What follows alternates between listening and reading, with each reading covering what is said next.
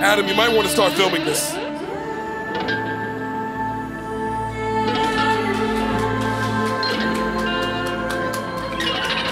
Hey, yo, fuck United.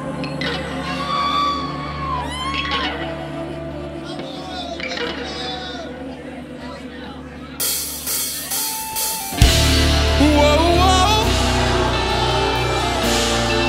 This nigga took his shirt off.